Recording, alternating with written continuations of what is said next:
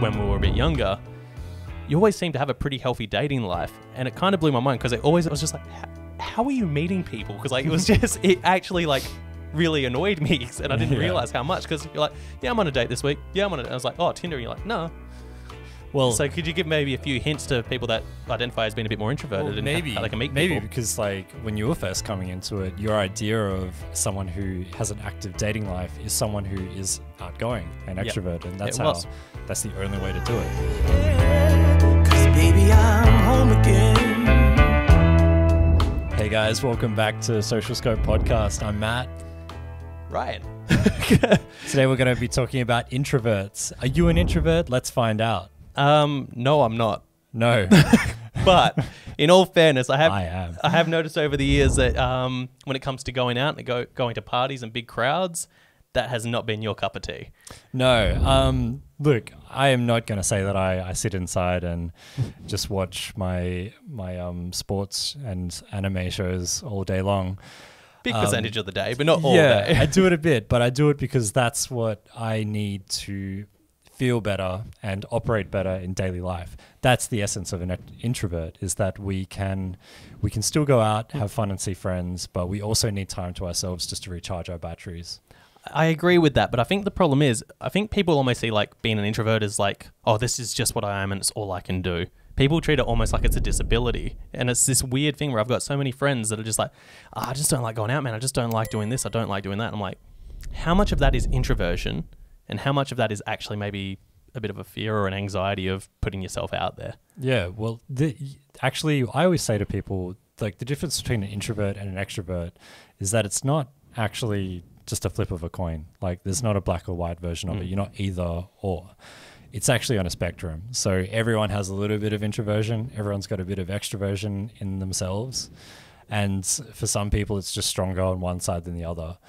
Um, I find a lot of extroverted people who also, you know, struggle when they get into simply just one-on-one conversations, whereas introverts thrive on one-on-one conversations and struggle in big groups. Yeah. Um, like I have the thing where people think I'm very extroverted. I'm like, I am when I am out. Do not get me wrong. I will talk to everyone about everything and anything.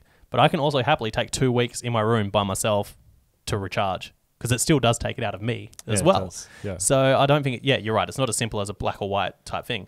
But what I will ask is, because you, not to go in to too much detail or anything, but I always noticed when we were a bit younger, you always seemed to have a pretty healthy dating life, and it kind of blew my mind because it always it was just like, how, how are you meeting people? Because like it was just it actually like really annoyed me, and I didn't Yeah. realize how much. Because you're like, yeah, I'm on a date this week. Yeah, I'm on. A, I was like, oh, Tinder. And you're like, no. Well, So could you give maybe a few hints to people that identify as being a bit more introverted Well, and maybe how they can meet maybe people? because like when you were first coming into it, your idea of someone who has an active dating life is someone who is outgoing and Yep. extroverted, and that's It how was. that's the only way to do it. But um, no, for me, like it, it took a lot of like practice and a lot of um, trying to analyze it and figure it out. Mm-hmm. Like a lot of guys, unlike girls, is that you know, I hate to generalize it, but girls kind of just go oh, need to worry about oh, how do I look today? You know, Yeah. how, you know, who, who am I gonna? They don't. It's not even on their radar of how to like struggle or how to meet someone. You know, in terms of dating. Yeah, But definitely. I think for me, like I just, I just, I thought about it, and I also realized that I don't have to bend myself to the extrovert playing field in order to get results. I decided to play it on my terms. Hmm. And that meant just doing things in smaller chunks, uh, doing things in quieter environments as well does help a lot. Uh, you know, you've got so many environments that are uh, you don't think about and are untapped, such as like libraries, skating rinks. I mean, there are a bit- Skating rinks, the roller drome, hunting for quail. yes, a fishing charter. you know, plenty of places you can meet girls. In all seriousness, like what are the actual spots that you kind of found you were meeting people? Well, I was at university at the time, and if you're a university student, don't waste those golden years because you do get to meet a lot of beautiful, like-minded people. That makes me so upset that I was in a relationship all of uni because I'm just like, there was so much that like I could have been experiencing, and it's not that I've wasted that time. Like I had a great partner at the time, sure, but it is a great time to actually learn those skills. Yeah, it's an absolute it's an absolute resource of um, meeting not just like the opposite sex, but like meeting new friends, and Mm. it's it's where you really bloom as a person when you you start hanging around people who like the same thing as you, and that's Yeah. a rare thing. You don't get that so much in high school. You kind of just lumped with you know, Every, every dead shit. yeah, dead um, yeah, so university was a big resource, but also like um, going out as well, just going out shopping, going out on the street, and sometimes by myself, sometimes with friends. Uh, you could just strike up conversations, and the way an introvert should do that sort of thing is by just taking it in small chunks. Hmm. So I'd often go for just 30 minute, go out there, walk around, just give people compliments. Yep. Just go and say hello to people. I'm a big trying to- believer in that. Yeah. It's not about having an agenda when you go out, because if you have that agenda, that's when you're going to probably get your ass rolled. yeah. Well, well, my And have a shit extrovert, my extrovert version of that when I started becoming single was like at day festivals or fairs or whatever it is. Something that don't me wrong is quite heavy, but I'll do a similar practice where I'd walk past and if I saw a girl in a cute dress, I'd be like, "Fuck yeah, cute dress," and high five her, and she'd be like, "Oh, thank Mm. you," but then walk. It's not about you have to stay in that setting. You've just thrown that compliment. You watch her light up with excitement. You go, I could probably keep doing that. And that you can do that in quieter settings. You don't have to be the big high five or anything like that. But you can just go, "Holy crap, your hair's amazing!" And what you LA. get through that is you get a feedback loop going Mm-hmm. where you get a good feeling and it's so easy it's it's hard to get it started but it's easy to keep it going. Mm. it's just hard to do that first thing because you're you're in your head most of the time. You want you're thinking to yourself oh she's not going to like what i have to say. I'm a creep. I'm shouldn't be here. What am i doing? Yeah. but even just the simplest compliment you can give don't need anything back from it. Hi how you going? You look great today. Yep. see you later. Yeah, that's all you need to do. And no, if as long as you don't overstay your welcome, people are pretty happy with that. But that timing thing is something that I kind of want to break into, and this goes for extroverts as well. This is really important advice.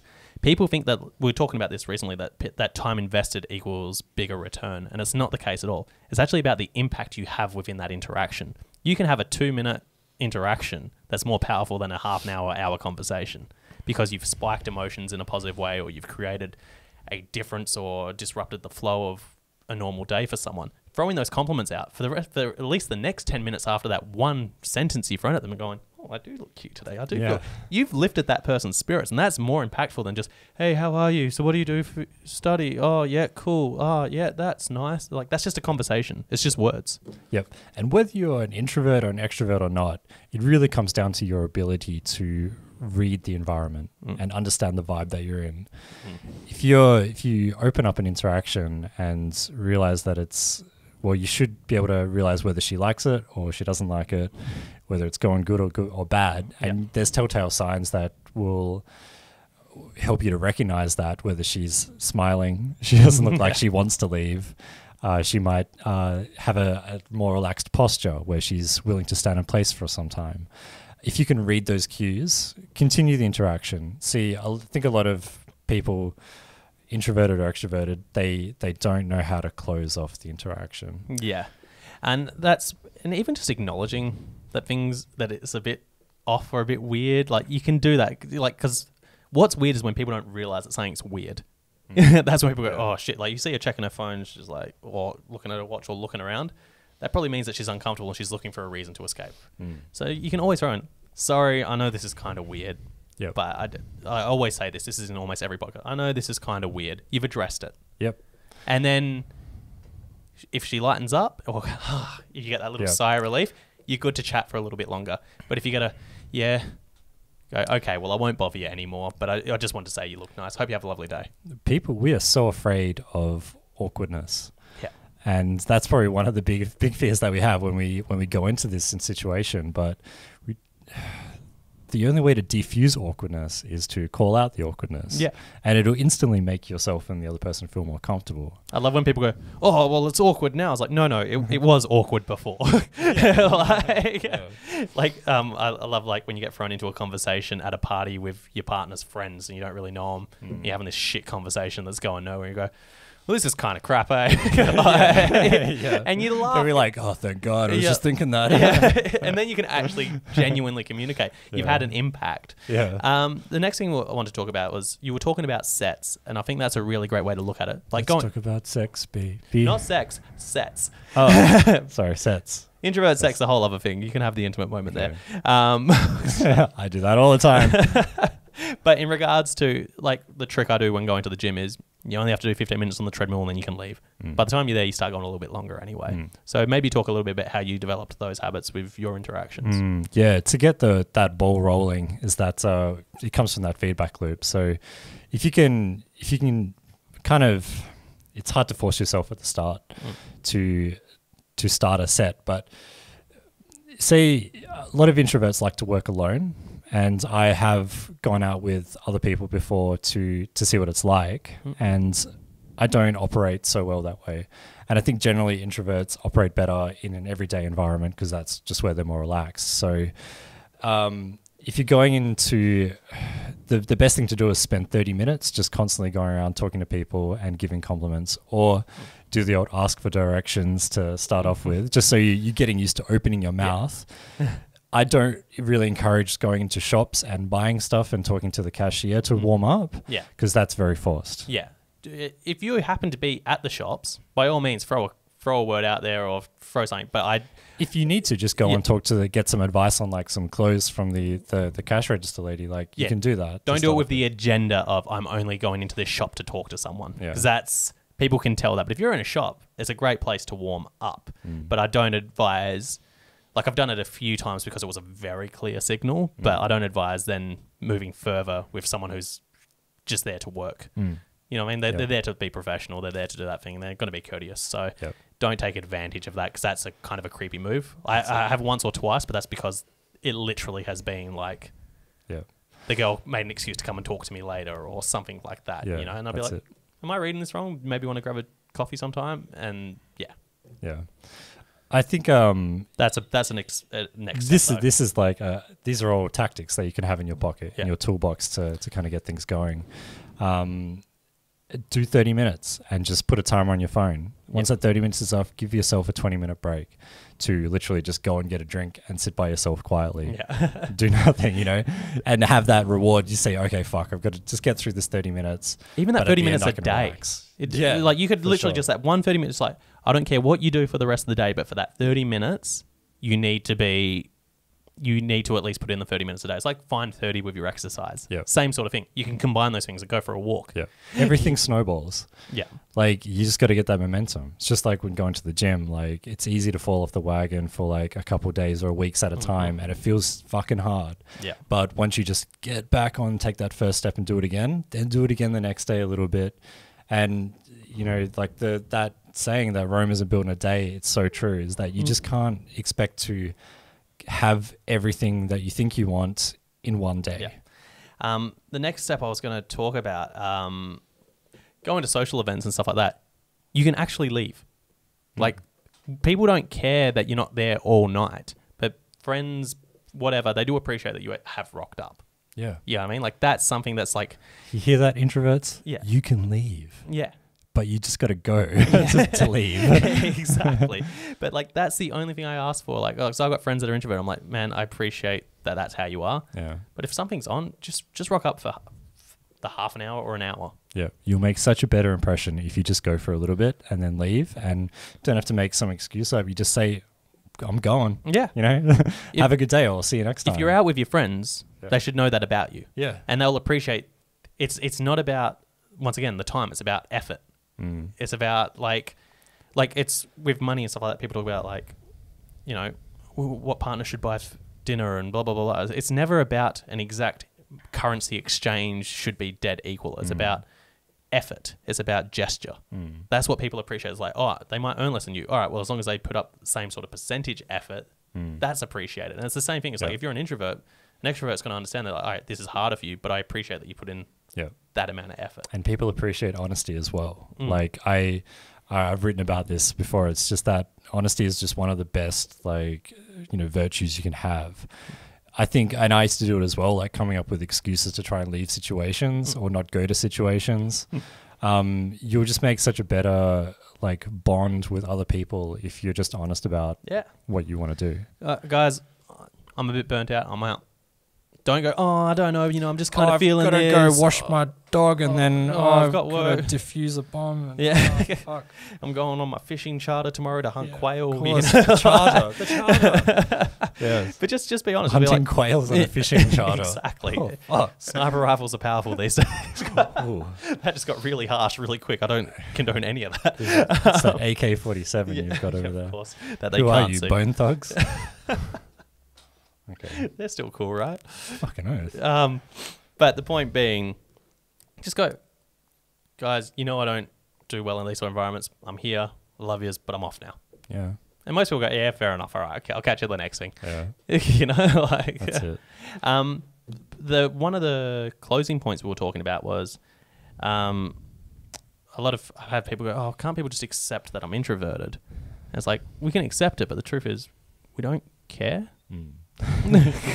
like as an extrovert, I don't care that you're introverted because for me, it's just like, And that might sound harsh, but it's actually really relieving. mm, Like to know that people don't care whether you're introverted or extroverted. we're all self-centered. Yeah. like yeah. even the people who are very selfless are still self-centered in one way or another. Um, at the end of the day, just because you're introverted, that might be what you are. But if you want to be that and you want to stay at home and you want to chill and you want to do nothing, that's fine. Mm. I actually have no problem with that. But you don't get to complain that you're not meeting people and that things, Yeah. interesting things, aren't happening to you. Yeah. Yeah. I know it's easy to get anxious, um, worrying about, you know, how people perceive you and that you're not doing enough to, I don't know, show people that you're you're a good quality guy or girl. But you really do need to worry about how much value are you putting out Yeah. there to the world. Because that that question of like people should just accept that, you know, I'm an introvert, that's who I am. Like how does that help other people? Like Yeah. how are you contributing to society. Exactly. And like I said, no problem if that's what you want to do, but you just don't get to complain. Yeah. It's that simple. like it's it's like, oh, I wish I was fitter. Well, I don't get to complain because I'm not putting in enough effort at the gym. yeah. I want to be, and that's my goal. So I'll take steps to do that, and that's great. Hmm. But I don't get to complain. It's like, oh, why can't my body just be fitter and ripped? It's like because you're not doing the fucking work. like, People, girls always say that I'm fat. And Yeah. It's like, well, what are you doing to like fix it? no, I'm just, uh, you know. just wanted to complain because we all like to complain. Yeah. Like we still do. I still complain about shit I shouldn't. Um, I But- hate complaining. yeah. So do I. I, I think I'm, I like, I rarely complain these days. I don't, I think because I'm too easygoing. and my my partner said this to me. I'm just such an easygoing guy that I don't. I would rather just, you know, let something bad kind of happen, and then I just walk away from it and not complain about it, than put up a big fight about things and make a hassle. Well, Like you can Karen. put a you can put a lot of energy into the fight against something that just is, Mm. and that's where you actually burn yourself out. That's where that shit actually consumes you and takes over your life. It's like, Yeah. like we've talked about this before with the breakup. The person who's still bitter about their ex from fucking two three years ago. I was like, Mm. dude, that's your fault. You've let that keep burning and gnawing away at you. It's like instead of you know that whole um, responsibility thing. It's like just because they hurt you doesn't mean it's their responsibility to fix you. It's still yours, and that comes down to everything. It's like if you want to do stuff and you want change, it's your responsibility. So with your if you're an introvert, like seriously, just take a few steps to to change that. And it's not about turning you into an extrovert. It's about all right. I'm introverted. There's introverted girls out there. There's introverted guys that you can partner up with. Lovely, Yeah. but you still need to get out of the house to actually find them. Yeah. So yeah, the, I guess the big points are, you know, everyone has a different you know style of doing things. Mm. Introverts like to do things in a bit more quiet and subdued way. Extroverts, you know, we'll do a whole other podcast on that.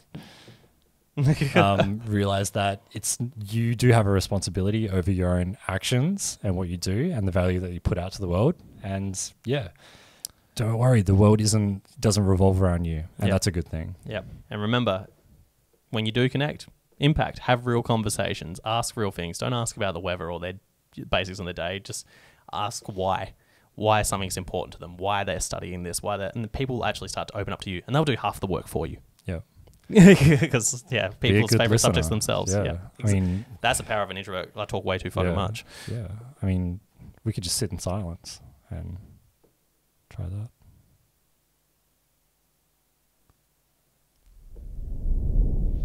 Subscribe to Social Scope Podcast. Uh, thank you so much, Ryan. That was a lovely little episode in between episode. In between episode. Can be. yeah, sure. No, I think that was a really good subject. But yep, like, subscribe, all that junk. Introverts, we still love you, but just don't make excuses for yourself. We have a book hopefully coming out pretty soon uh, where we go over all the different personality types and ways that you can head out there and start meeting people. So excited to drop that. Anyway, guys, have a really lovely evening and enjoy the new year.